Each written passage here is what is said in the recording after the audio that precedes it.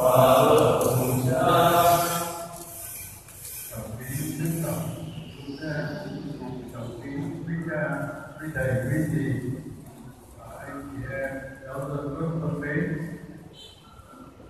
Và cầu tình cảm các người luôn luôn tự trọng, luôn biết để con yêu của chúng ta cũng còn thể nhưng trong đức tin và trong niềm hy vọng đặc biệt dạy dựa vào lòng chúng ta đầy lòng thương xót cũng là cứu chân chủ đích của tất cả mọi người chúng ta các riêng đồng mới tu sĩ linh mục giáo mục và những người đã trọn vẹn tự nguyện theo Chúa một cách triệt để giờ đây sự trở về của người con yêu dấu của cha trên trời mang một cái niềm hy vọng của phần thưởng lớn lao, không phải cây dựa vào công đức tự nhiên của con người.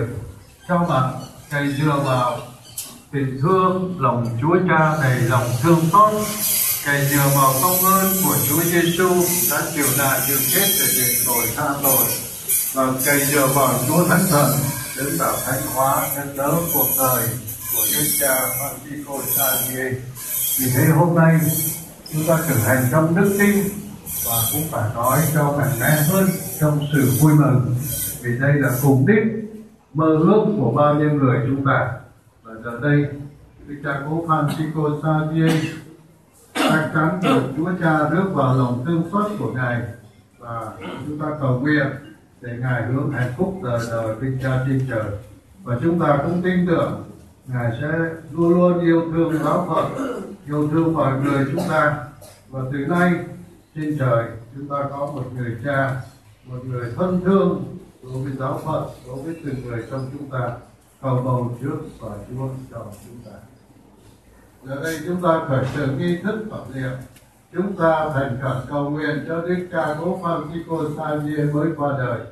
Xin chúa ban ban thưởng cho ngài sau khi kết thúc cuộc đời trần thế này, được trở về quê trời, vui hưởng cuộc sống đời đời vì chúng ta tin chắc rằng sự chết chưa phải là kết thúc tất cả, nhưng là cửa ngõ tiến vào sự sống đời đời.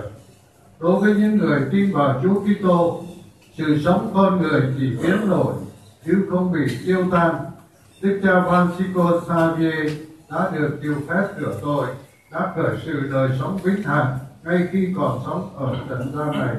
Chúng ta cầu nguyện cho ngài hy vọng ngài được hưởng vinh quang phục sinh với Chúa Kitô. you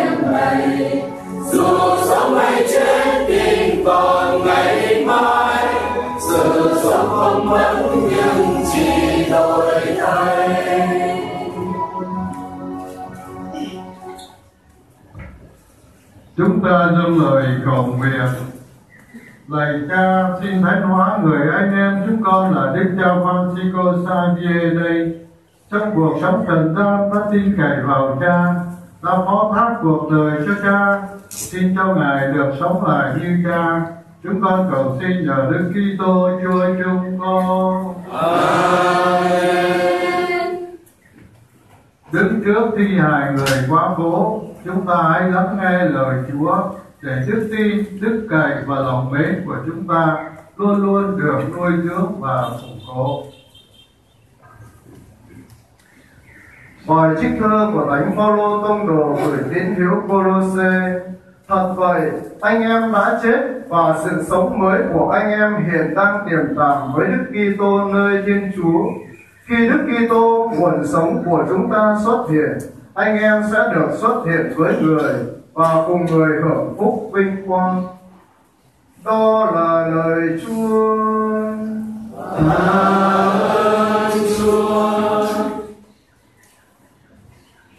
Anh chị em thân mến, trong mầu nhiệm phục sinh vinh quang, Đức Kitô đã chiến thắng tử thần và đem lại sự sống cho chúng ta.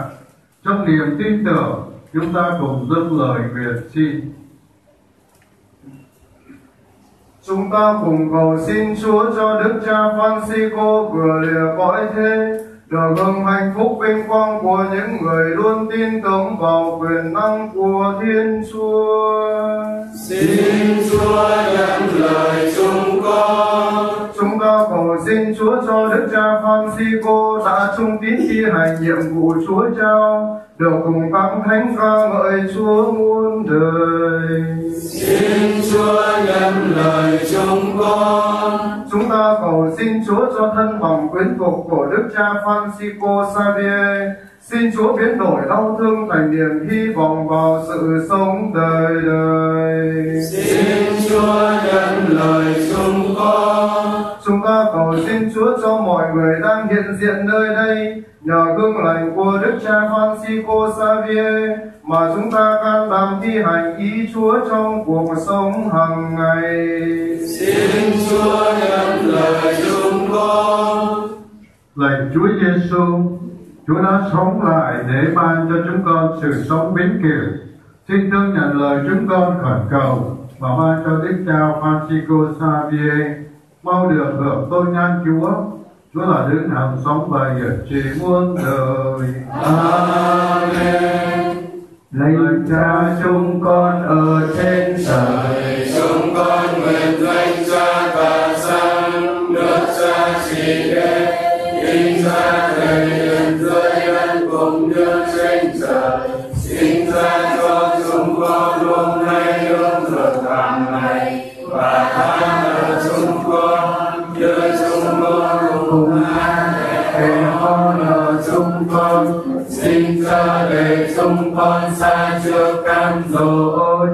nhưng chúng con cho khỏi sự dữ Trước khi làm phép áo quan, chúng con xin phép Đức Cha cho cha tổng cũng như quý cha vào để nhìn ngắm Đức Cha Francisco lần cuối trước khi làm nghi thức tập luyện nhập quan cho ngài. Con xin kính mời Đức Tổng cùng cha tổng đại diện và quý cha con xin kính mời.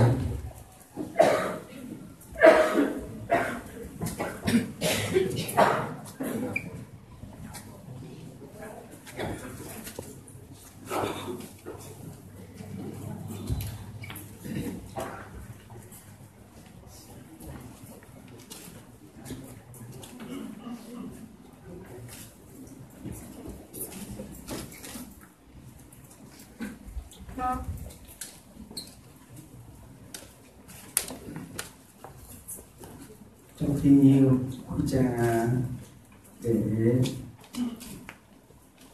chiêm ngắm Đức Cha Francisco lần cuối xin ca đoàn có thể hát bài ca cầu nguyện cho Đức Cha.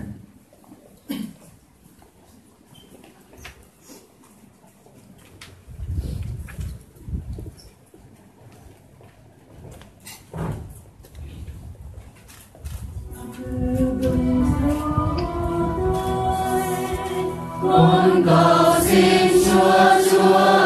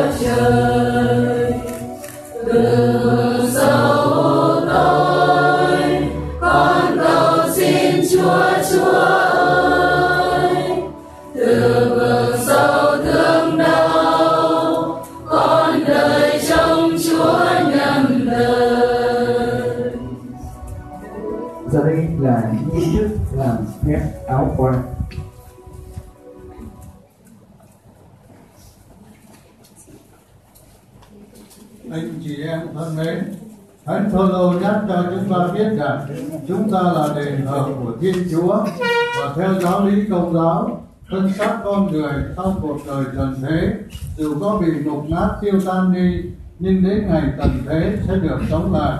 Vì thế, hồi thánh dạy chúng ta phải tôn trọng thân xác người chết, chôn cất một cách kính cẩn, theo phong tục và hoàn cảnh địa phương.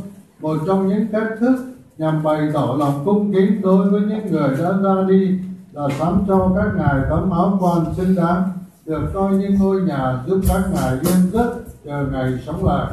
Vậy chúng ta hãy dẹp lời cầu xin Chúa chúc lành cho chiếc áo quan này và nhận lòng thành kính của chúng ta đối với Đức cha Francisco Xavier đã ra đi mà ban cho Ngài được yên rất ngàn thu. Chúng ta dâng lời cầu nguyện. Lạy Chúa là Thiên Chúa và là đứng cứu chuộc chúng con. Chúa đã truyền cho chúng con phải tôn trọng thân xác mình, vì sau khi được thanh tẩy trong nước rửa tội, toàn thể con người chúng con đã trở nên đền thờ của Chúa. Xin Chúa chúc phúc lành cho chiếc áo quan này, để thân xác tôi tới Chúa là Đức cha Francisco Xavier được yên nghỉ trong đó chờ ngày Chúa cho sống lại và hưởng tôn nhan Chúa, chúng con cầu xin nhờ Đức Kitô Chúa chúng con. Amen.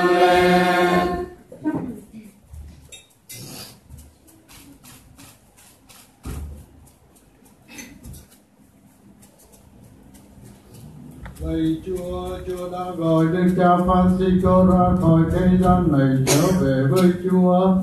Xin cho người con của Chúa đây, ngay từ giờ phút này, được phát vọng tôi lỗi, được đón nhận vào nước Chúa, chung hưởng vinh phúc với người. đời ngày thân xác phục sinh, chúng con cầu xin nhờ Đức Kitô Chúa chúng con. Amen. Nghi thức làm phép áo quan đã kết thúc. Sau đây là nghi thức dập quan. Xin kính mời các thầy chủ trinh cử hành nghi thức này.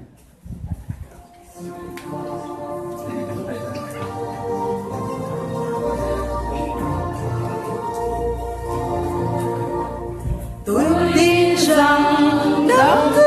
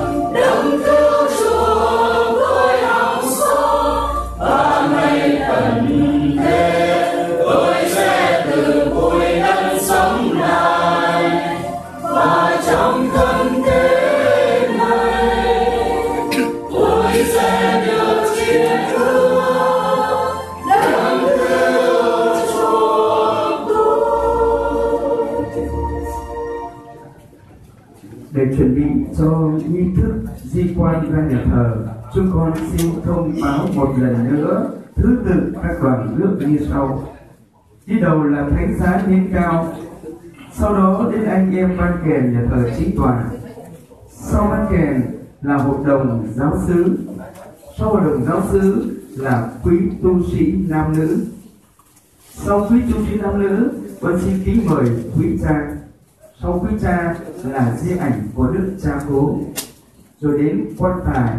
Sau quan tài kính xin đức cha chủ sự. Sau đức cha chủ sự và các cha giúp việc, xin mời thân nhân của đức cha Francisco. Và sau quý thân nhân, xin mời toàn thể anh chị em, giáo dân chúng ta tham dự đoàn trước này. Ra tới nhà thờ, đức cha sẽ làm phép tang. Sau đó, gia tổng đại diện sẽ trao khăn tang cho quý cha, quản hạt cha giám đốc đại chủ viện và cha đặt sách về tu sĩ.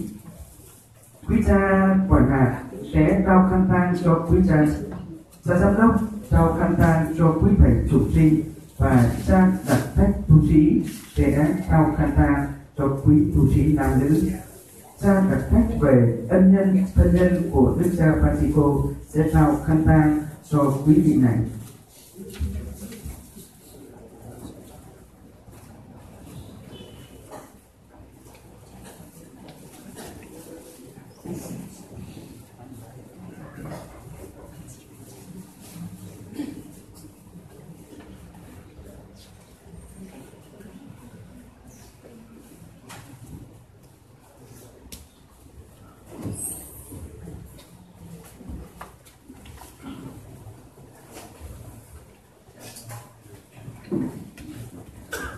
Xin kính mời quý sơ sẽ đi sau hội đồng giáo xứ xin kính mời quý sơ di chuyển.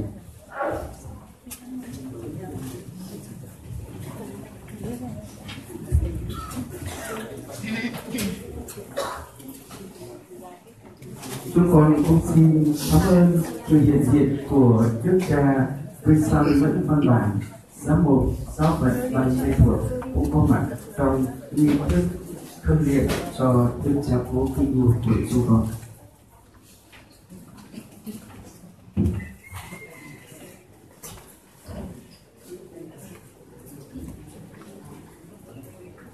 xin quý cha và quý thầy đã được sắp xếp để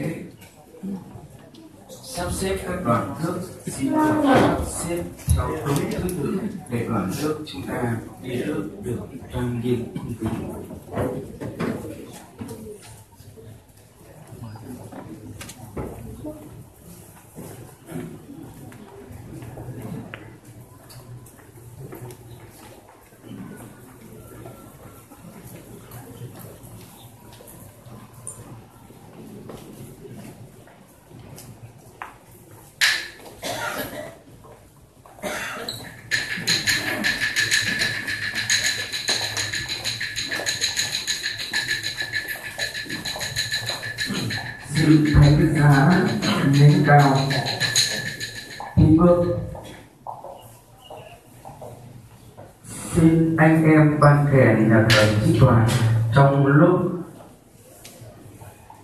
rước di hài đức cha chúng ta thổi những bài nhẹ nhàng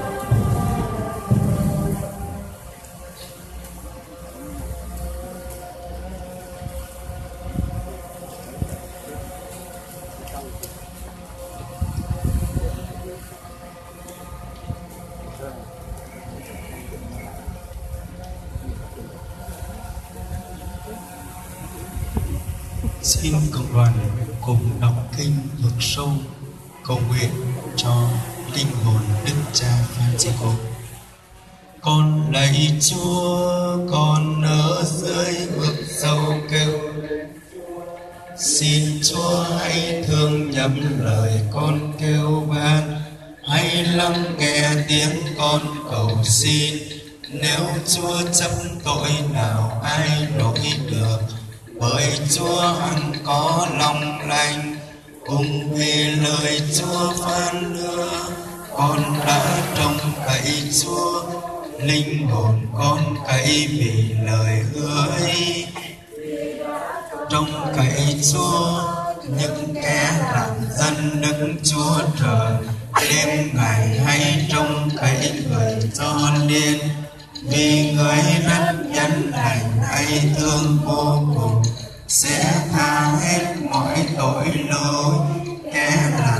người thấy thấy lạy chúa, xin ban cho linh hồn đức giang mục Francisco được ý cưới đời đời và được sáng soi vô cùng.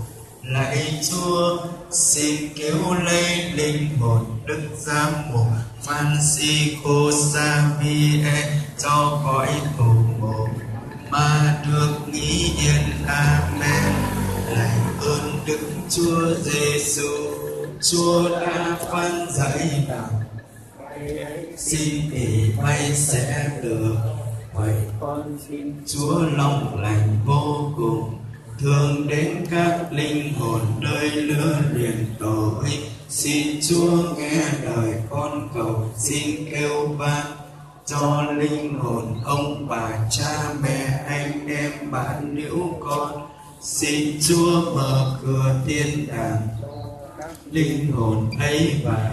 Xin cho các linh hồn ấy được sự sát cùng hàng soi cho liên amen. Xin mời anh em ban kể. đi cái cổng kia hết đi biết ở bếp đi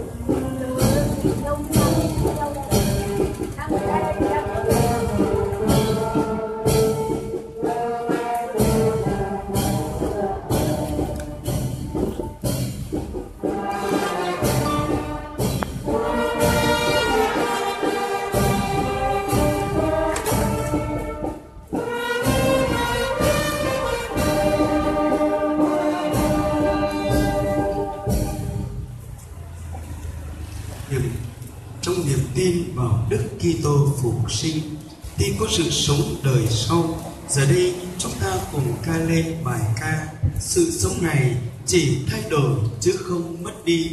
Và chính lúc chết đi là khi vui sống muôn đời.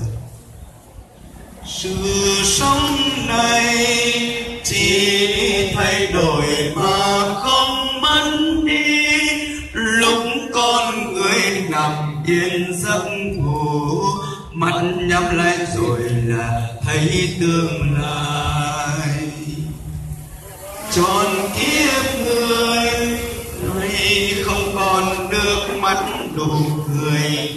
Nhưng con tin rằng ngày mai trong chúa chẳng có nỗi buồn đẹp mãi niềm vui. Sự sống mất nhưng chỉ đổi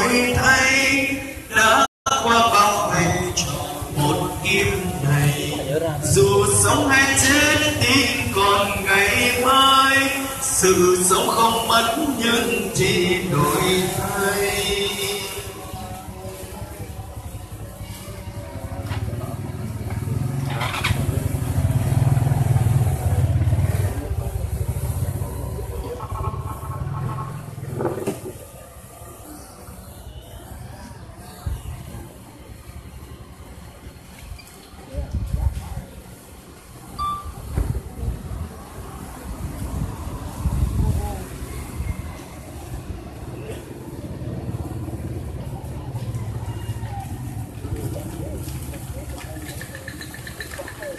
Sự sống không mất nhưng chỉ đổi thay. Đã bao ngày chọn một kiếp này. Dù sống hay chết tin còn ngày mai. Sự sống không mất nhưng chỉ đổi thay.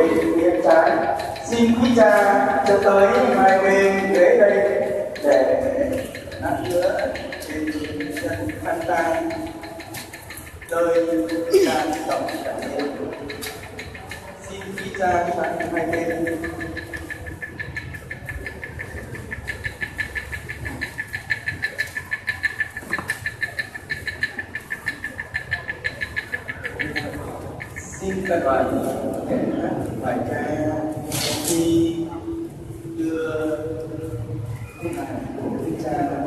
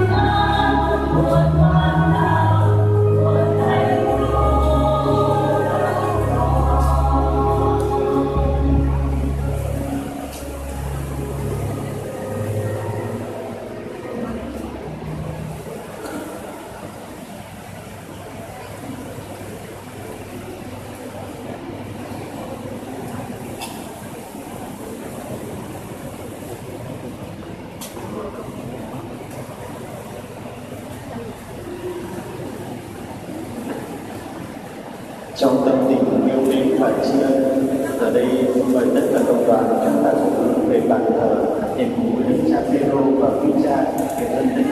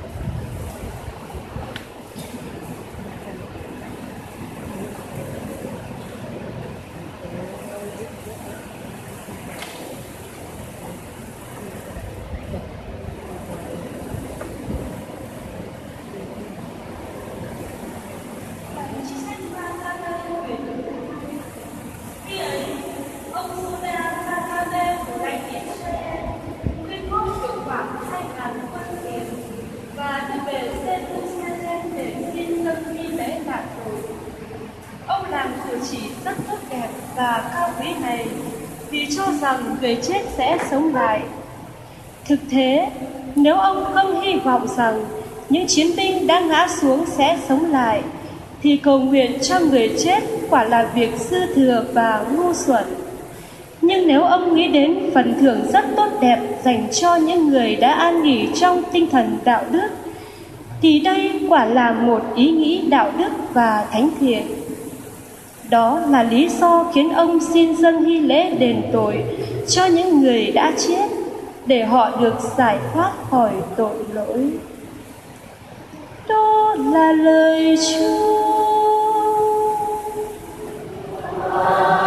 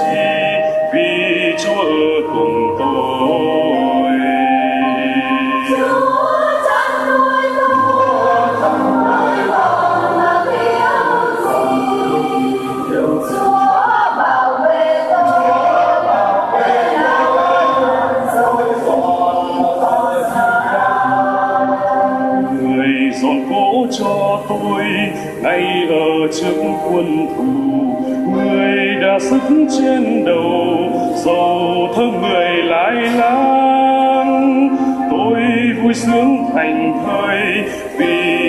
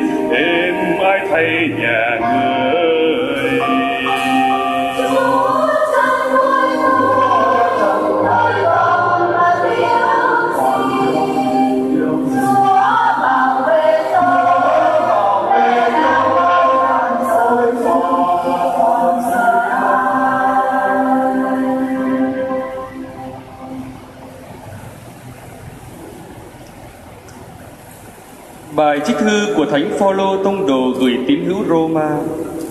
Thưa anh em, anh em không biết rằng khi chúng ta được dìm vào nước thanh tẩy để thuộc về Đức Kitô Giêsu là chúng ta được dìm vào trong cái chết của người sao? Vì được dìm vào trong cái chết của người, chúng ta đã cùng được mai táng với người. Bởi thế, cũng như người đã được sống lại từ cõi chết nhờ quyền năng vinh hiển của Chúa Cha, thì chúng ta cũng được sống một đời sống mới. Thật vậy, vì chúng ta đã nên một với Đức Kitô nhờ được chết như người đã chết, thì chúng ta cũng sẽ nên một với người nhờ được sống lại như người đã sống lại. Chúng ta biết rằng con người cũ nơi chúng ta đã bị đóng đinh vào thập giá với Đức Kitô. Như vậy, con người do tội lỗi thống trị đã bị hủy diệt để chúng ta không còn làm nô lệ cho tội lỗi nữa. Quả thế, ai đã chết thì thoát khỏi quyền của tội lỗi. Nếu chúng ta đã cùng chết với Đức Kitô, chúng ta cũng sẽ cùng sống với người.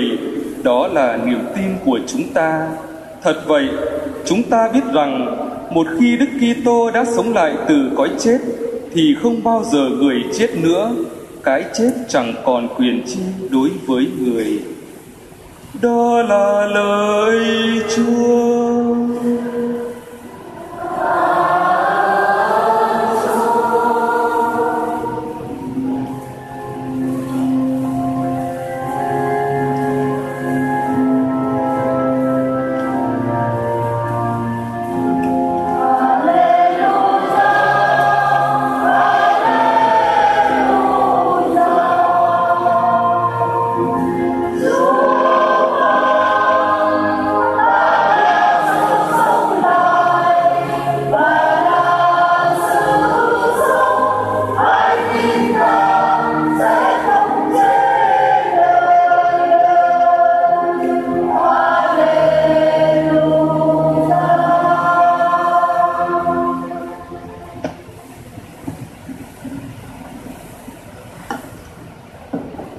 Xin cùng đoàn đáp và ở cùng thầy. Chúa cùng anh chị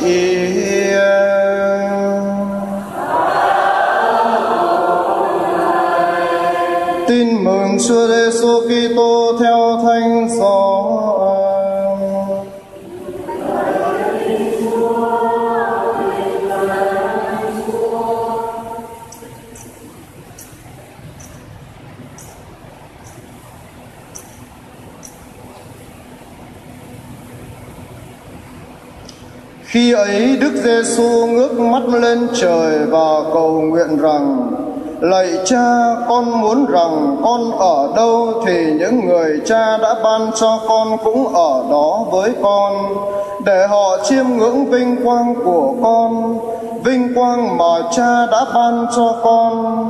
Vì Cha đã yêu thương con trước khi thế gian được tạo thành. Lạy Cha là đấng công chính, thế gian đã không biết Cha, nhưng con, con đã biết Cha, và những người này đã biết là chính Cha đã sai con. Con đã cho họ biết danh Cha và sẽ còn cho họ biết nữa, để tình Cha đã yêu thương con ở trong họ và con cũng ở trong họ nữa. Đó là lời Chúa.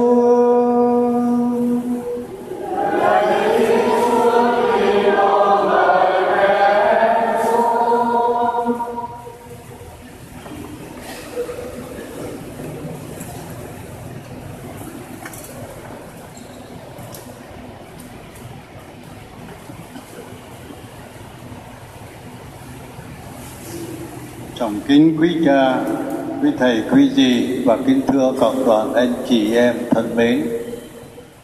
Trong một nghi thức đơn sơ nhưng đầy lòng tin cậy mến và tình cảm tri ân của những người con đối với cha của mình trong đức tin.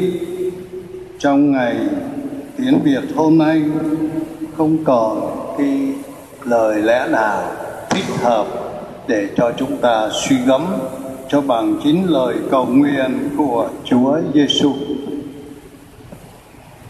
Khi ấy Chúa Giêsu ngước mắt lên trời và cầu nguyện rằng: Lạy Cha, con muốn rằng con ở đâu thì những người Cha đã ban cho con cũng ở đó với con để họ chiêm ngưỡng vinh quang của con vinh quang mà cha đã ban cho con. Vì cha đã yêu thương con trước khi thế gian được tạo thành. Lạy cha là đứng công chính. Thế gian đã không biết cha, nhưng con con đã biết cha, và những người này đã biết là chính cha đã sai con. Con đã cho họ biết danh cha, và sẽ còn cho họ biết nữa để tình cha đã yêu thương con ở trong họ và con cũng ở trong họ nữa thật là an ủi trong ngày kết thúc cuộc đời hôm nay, đức cha đáng kính, đáng mến của chúng ta giờ đây trở về với cha trên trời. Cây dựa vào lòng cha đầy thương xót và mầu nhiệm yêu thương của Chúa Giêsu không còn tình yêu nào lớn hơn cho kẻ thí mạng sống vì người mình thương. Suốt cả cuộc đời của Đức cha Francisco Xavier không làm gì khác mà chỉ là đáp lại tình thương của Chúa Cha, phục vụ và trở nên đầy tớ trung thành cho Chúa Giêsu Kitô trong suốt cuộc đời dài 86 năm của mình. Giờ đây còn gì hãnh diện, còn gì vinh dự, hy vọng và niềm vui chờ đợi cái ngày phần thưởng mà suốt 86 năm không chỉ chờ đợi mà đem hết tất cả công sức tâm lực của mình để thể hiện một hành động yêu thương của Chúa Cha đáp lại cái giao ước tình yêu của Chúa Cha mà Chúa Cha đã ngỏ ý với Ngài một cách từ đời đời. Và rồi chính Chúa Giêsu ngài cũng đã thể hiện cái giao ước của chúa cha đó khi ngài ban cho đức giám mục Francisco Xavier một ơn gọi, một giao ước tình yêu. Và dù còn có những thiếu sót, những yếu đuối nhân loại cách này, cách khác nhưng đức cha Francisco Xavier cũng đã đem hết sức, hết lực, hết linh hồn, hết trí khôn mình để đáp lại tình yêu của Chúa Cha trên trời, đáp lại cái người chủ vườn nho. Khi chọn mình để làm thờ trong vườn nho của Chúa Giêsu thì ngài đã đem hết tất cả sức lực. Chính vì thế mà giờ này, hôm nay, sự ra đi của ngài trong đức tin và trong lòng thương xót của Chúa Cha là một phần thưởng lớn lao, là một triều thiên vinh quang cho ngài. Chúng ta hãy tin tưởng một cách tuyệt đối, một cách chắc chắn. Bởi vì Chúa Cha đầy lòng thương xót và Chúa Giêsu đã chấp nhận chịu chết đền tội hy sinh để mọi người được cứu rỗi. Do đó, nếu chúng ta còn nghi ngờ thì là một xúc phạm lớn lao tới lòng cha thương xót và tới công ơn để tội hy sinh, chịu nạn chịu chết của Chúa Giêsu và chính khi suy gẫm như vậy, hết mọi người chúng ta đều tin tưởng, đều vui mừng và nỗ lực hơn nữa với tất cả sự cố gắng của mình. Bài học này thật là ý nghĩa thật là cao cả và cần thiết mà Đức cha Francisco Xavier đã thực hiện trong suốt 86 năm của Ngài. Cho nên hôm nay và cách riêng trong những ngày này, kính thưa cộng đoàn anh chị em, chúng ta hãy thay đổi khi náo trạng cái niềm tin của chúng ta để chúng ta cày dựa vào lòng Chúa thương xót. Đây chính là hạnh phúc và là sức mạnh cho đức tin của chúng ta.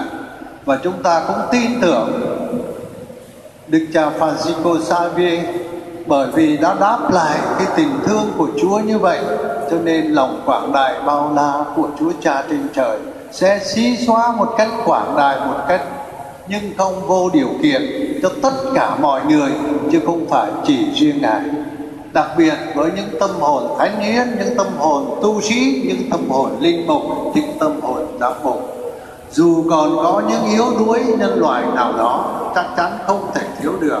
Nhưng mà chúng ta hoàn toàn tin tưởng và cậy dựa vào lòng thương xót của cha trên trời.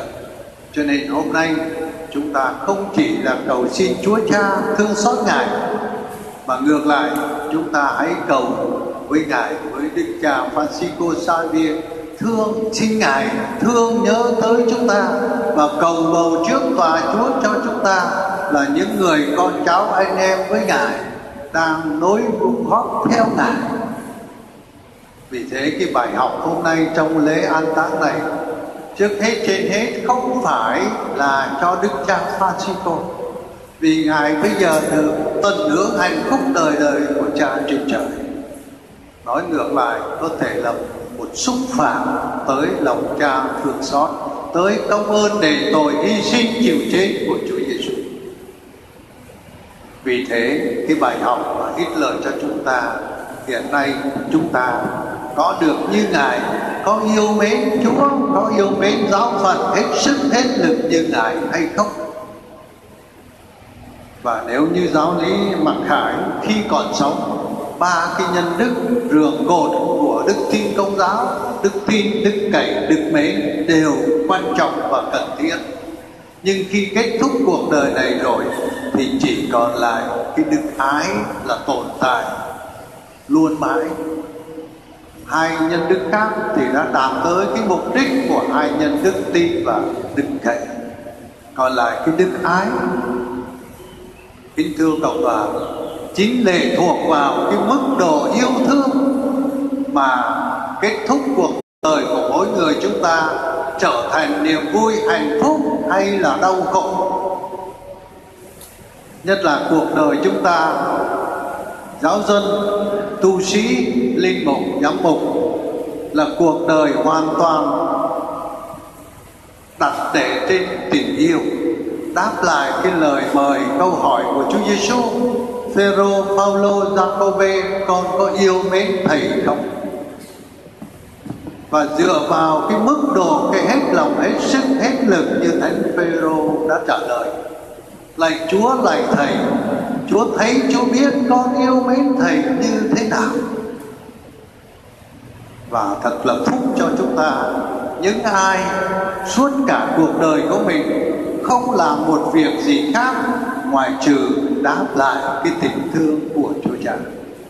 Và giờ đây Đức Cha Francisco cũng có thể khi trình diện với Cha trên trời và trước câu hỏi của Chúa Giêsu, Francisco Xavier, con có yêu mến thầy không? Có yêu mến thầy hết sức, hết lực, hết linh hồn, hết trí khôn không? Và chắc chắn Đức cha Francisco sẽ trả lời một cách mạnh mẽ như Thánh Phêrô. Lạy Cha trên trời, lạy Chúa Giêsu, Chúa biết rõ con yêu mến Chúa trong suốt cả đời con thế nào. Kính thưa cộng đoàn anh chị em, đây cũng là bài học rất là cần thiết cho chính chúng ta. Sớm muộn tất cả mọi người chúng ta đây cùng đi theo bước chân của Đức cha Francisco. Và sớm muộn sẽ có một ngày kết thúc. Khi chúng ta nhắm mắt kết thúc cuộc đời mình, chúng ta mong muốn và chúng ta cầu chúc gì những người còn sống thể hiện với chúng ta. Chắc chắn không phải là lời ca tiếng hát tổ chức lòng trọng. Cho bằng là cái câu xác định của thánh Phêrô lạy cha lạy Chúa Giêsu Chúa biết rõ cả đời con không còn tình yêu nào khác. Tất cả chỉ yêu Chúa, tất cả chỉ yêu giáo phận tất cả yêu giáo xứ tất cả chỉ yêu các linh hồn mà thôi.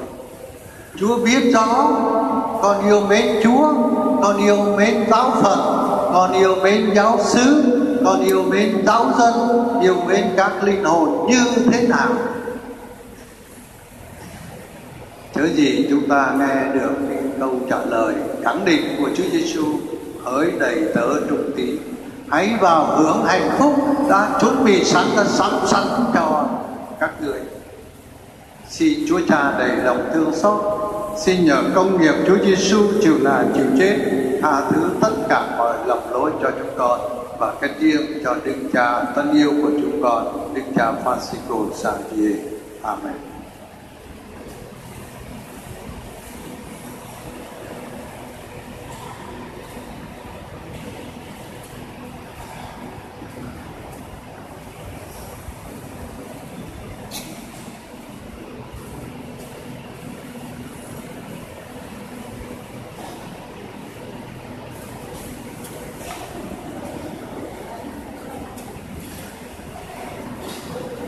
Anh chị em thân mến, Chúa Giêsu Kitô đã chết và đã sống lại để cho chúng ta được sống và sống dồi dào.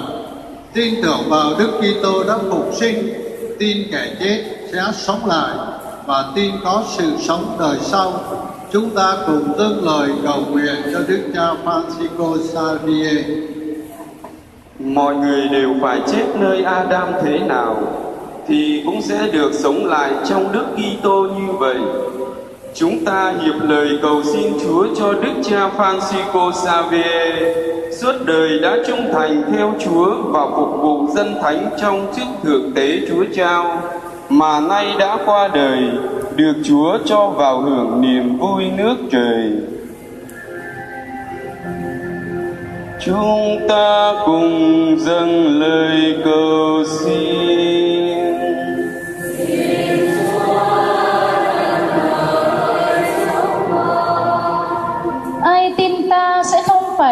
Đời đời.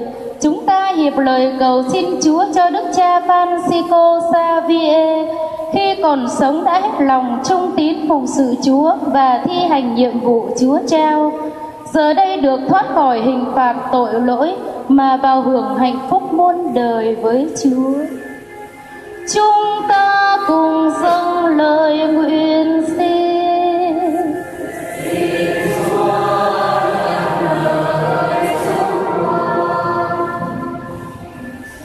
Chúa sẽ lau khô mọi giọt lệ trên khuôn mặt mọi người. Chúng ta hiệp lời cầu xin Chúa, cho thân bằng quyến thuộc của Đức cha Francisco Xavier và cộng đoàn giáo phận chúng ta đang buồn sầu thương nhớ Ngài. Được Chúa thương nâng đỡ ủi an, để chúng ta biết can đảm chấp nhận mà thông phần vào cuộc thương khó của Chúa Kitô.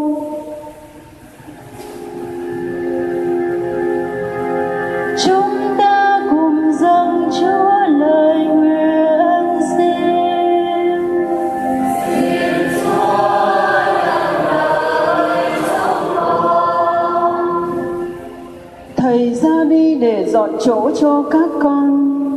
Chúng ta hiệp lời cầu xin Chúa cho cộng đoàn giáo phận chúng ta. Hôm nay quy tụ về đây dâng lễ cầu nguyện cho Đức cha Francisco Xavier. Luôn biết nhớ rằng quê hương chúng ta ở trên trời, để biết canh tân cuộc sống mỗi ngày hầu xứng đáng là những người được Chúa Cha chúc phúc.